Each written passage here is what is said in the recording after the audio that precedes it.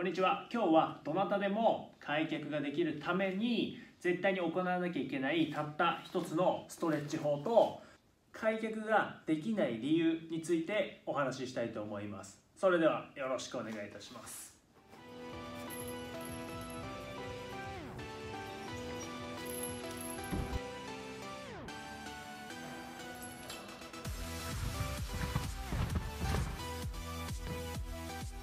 まず開脚に挑戦されてる方が行っているストレッチとしてこの内転筋を伸ばすこととあとこのハムストリングスを伸ばすもも裏を伸ばすストレッチなんかを行ってると思うんですけどもこれだけでは実は開脚ができないですしその前に絶対にできなきゃいけない第一歩があるんですね。それは足をこう外旋させられること。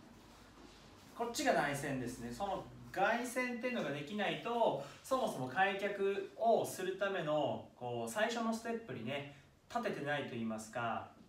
この理由は少しねこう模型を使いながら分かりやすく説明していきます。その後で簡単なねどなたでもできるストレッチ法を一つご紹介していきます。え足ってどのように開くかと言いますとこう膝を正面に向けたままだと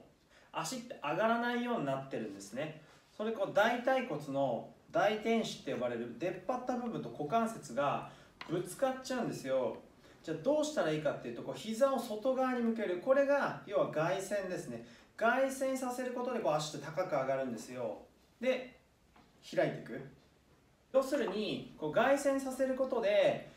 大腿骨の出っ張った大天使って部分と股関節がぶつからないから足って上がるんですね。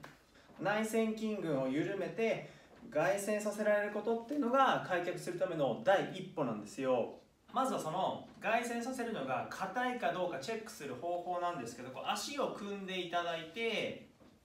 この今の角度あるじゃないですか。これ45度ぐらいになってると思うんですけどこれよりも傾かない。要は外旋させることができない。45度以上いかない方はちょっとね開脚するための内旋筋群っていうのが硬いのでじゃあその内旋筋群を緩めて外旋させられるようになる簡単なストレッチを教えていきます。このまま座ったままできますからなるべく胸を張ってこう股関節を立ててください。これもねちょっと体硬い方は最初難しいステップになるんですけど胸を張って腰を立てたらこれを要は押すだけです。下に。こちらの手を使っても構いません。ぐーっと押してあげてもしこれからストレッチを始められるような初心者さんであればこの状態でね30秒間キープしましょう。でこれで少し物足りないなっていう方はこのまま胸を張ったまま前に倒してください。もちろんここ押したままですよ。これでも少し物足りないなって方はさらにここからこちらに向かってひねります。体と反対の方向に膝をこうぐーっと押して体を斜め45度ぐらいのラインに傾けておく。これももちろん腰丸めずに胸張っててくださいね。この状態で30秒間行うようにしてください。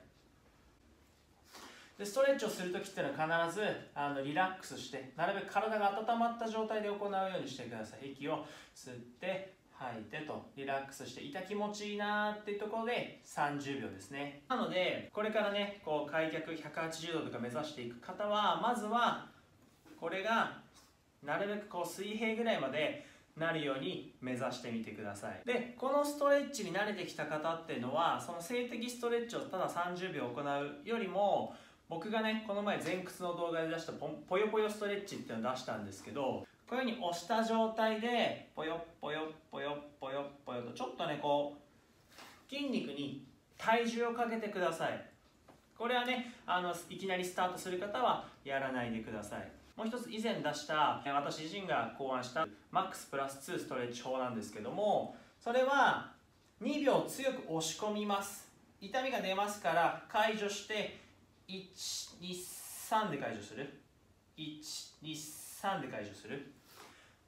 これは少しね中上級者さん向けになりますけども筋肉の方筋肉の長さをね感知するそのセンサー筋房水っていうセンサーをできる限り解除していかなきゃ体って柔らかくならないので、えー、少しねこう強く押し込んでいくものになるんですけどもねぽよぽよストレッチもマックスプラス2もどちらもねリンク貼っておくんで体をね柔らかくしたい方は是非ね見てみてください。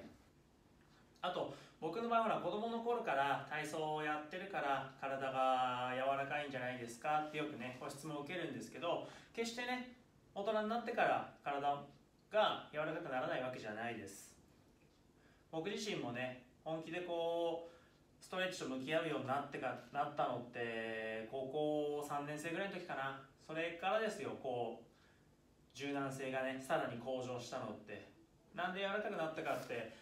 まあ日々の努力ですよね。毎日コツコツあの続けること。続けるっていうのは決して簡単ではないですけど開脚するっていうことがそもそもねあの簡単なことではないのでそれなりにやっぱ努力が必要ですけど決してね年齢も関係ないですし皆さん必ずあのスピードは違えど成長していきますから、ね、あなたができることから挑戦してみてくださいね。それではまた次の動画でお会いしましょう。ありがとうございました。動画をご覧になっていただきありがとうございました。私がオーナーを務めておりますパーソナルジム上越 YG のことや個人のインスタグラムの方ももしご興味があればぜひフォローの方お願いいたします。それでは次の動画でお会いしましょう。